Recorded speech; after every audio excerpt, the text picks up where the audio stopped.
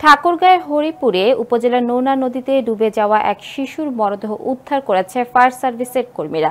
হরিপুর প্রতিনিধি নূর মোহাম্মদ জানান, রোববার বিকেলে নদী থেকে তাকে উদ্ধার করা হয়।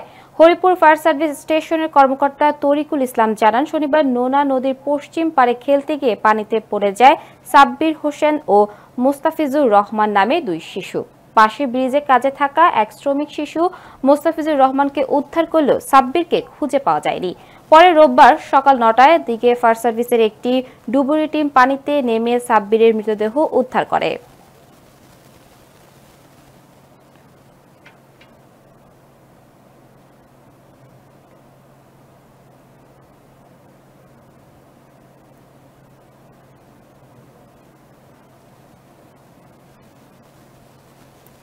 এদিকে ঠাকুরগাঁয় হরিপুরে অতিরিক্ত দামে সার বিক্রির অভিযোগে তিনটি প্রতিষ্ঠানকে এক লাখ দশ হাজার টাকা জরিমানা করেছে ভ্রাম্যমাণ আদালত।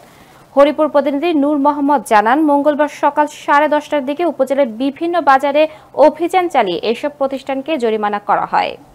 উপজেলা সহকারী ভূমি কর্মকর্তা ও নির্বাহী ম্যাজিস্ট্রেট রাকিবুজ্জামান বিভিন্ন বাজারে অতিরিক্ত দামে সার বিক্রি করায় জাহিদ ট্রেডার্সকে বিশ, মানিক হোসেনকে দশ জামাল উদ্দিনকে পঞ্চাশ, ইসহাক আলীকে বিশ ও জাহাঙ্গীর আলমকে দশ হাজার টাকা জরিমানা করেন। এ সময় উপস্থিত ছিলেন হরিপুর উপজেলা কৃষি কর্মকর্তা রুবেন হোসেন ও থানা পুলিশ।